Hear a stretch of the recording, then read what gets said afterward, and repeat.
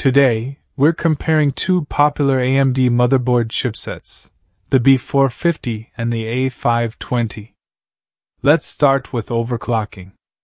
The B450 supports CPU and memory overclocking, which makes it a great option for anyone looking to get a little extra performance out of their system.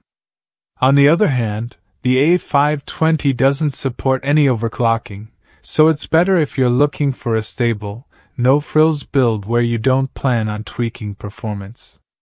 When it comes to connectivity and expansion, the B450 has more PCIe lanes, USB ports, and SATA connections. This makes it ideal for people who need to run multiple GPUs, storage devices, or other peripherals. The A520, however, still offers enough connections for most basic setups, but it's a bit more limited when it comes to future upgrades or expansion.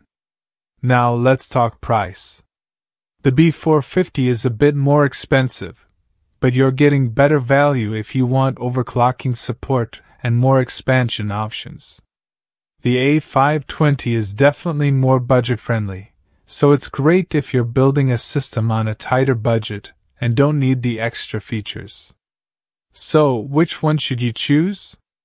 If you want to overclock your CPU or memory, need more expansion options for GPUs or storage, and don't mind spending a bit more, the B450 is the way to go.